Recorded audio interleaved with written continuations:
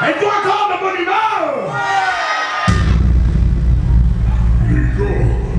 ça